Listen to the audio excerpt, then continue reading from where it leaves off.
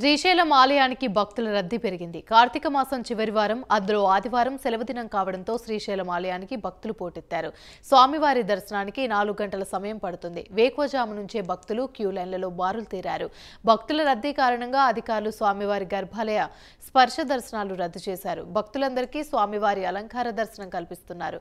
పాతాల గంగలో భక్తులు భక్తి శ్రద్ధలతో కార్తీక పుణ్య స్నానాలు ఆచరిస్తున్నారు.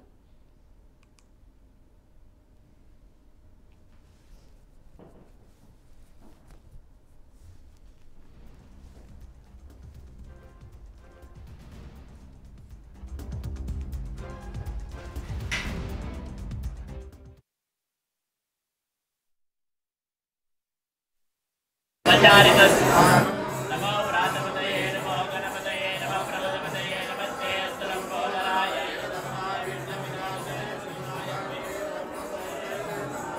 महागणाधिपतये नमः शुद्धोदकस्नानं समर्पयामि वैवं पद्मायै पद्मजायै बहुप्रीयवायै बहुभाजलायै